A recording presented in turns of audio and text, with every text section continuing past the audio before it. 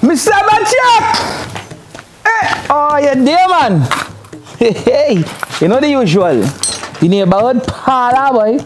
Every evening I waiting right here for a kiss cake, job job, sukka bag, pen and cool, and hey.